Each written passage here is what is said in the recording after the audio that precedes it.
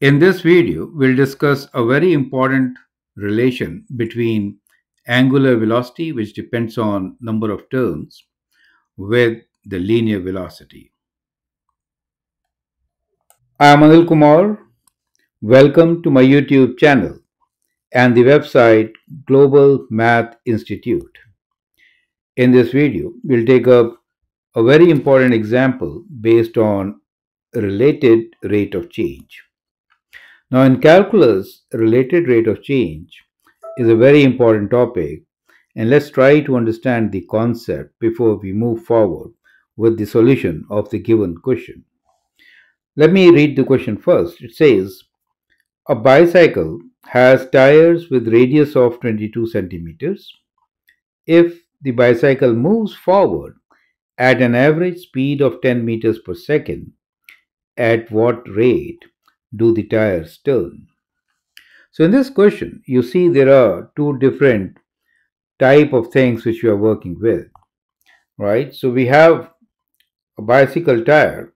So let's just consider the tire here for the moment, right? So let's say this is a bicycle, right? Okay, so what is happening here is that as the tires turn, bicycle moves in front, correct? So you're saying the bicycle has tires with radius of 22 centimeters. Let's assume that these are exactly same tires with radius r equals to 22 centimeters. If the bicycle moves forward at an average speed, so let's say if we consider this distance as x, right, in this direction, then dx dt will be the speed, right? And this speed is 10 meters per second. Now says what rate does the tires turn?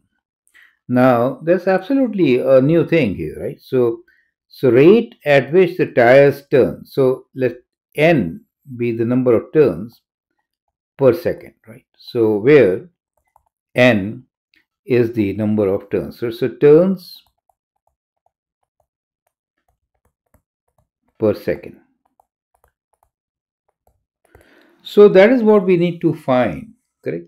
So what is happening is when the position is changing, then the tires are also turning. So there are two things related and that is what we refer to as related rate of change. So I think the concept is clear. Now how do we solve such questions? So of course first thing is to relate them. So that is what we will do now. So as you see that circumference is 2 pi r. So, so the distance traveled, let's say x is equal to, if there is n is 1, so it will be 2 pi r times n, where n is number of turns, correct?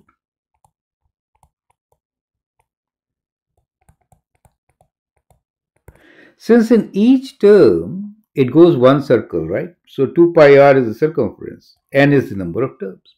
So that is how distance is related with number of terms. You get the idea. Once you relate it, then you could actually differentiate and get your answer. So I hope the concept is clear. Well, now you can actually pause the video, answer the question, and then look into my suggestions. In case you want to learn directly from me, feel free to send an email on Global Math Institute at gmail.com. So now, let us differentiate both sides with respect to time. So, in short, we write differentiate with respect to time. So, we get dx dt equals to let me write it d dt of 2 pi r first, right? r and n. n is changing, r is not changing, right? So, so that means 2 pi r is a constant, right? So 2 pi r and dn dt. See how we got the rate of change of position, which is dx dt speed, related with rate of change of number of terms. You see that? So that is what is interesting about related rate of change. And from here, we can isolate and write our equation as dn dt equals to 1 over 2 pi r times dx dt, correct? So rate of change of number of terms is related with the speed.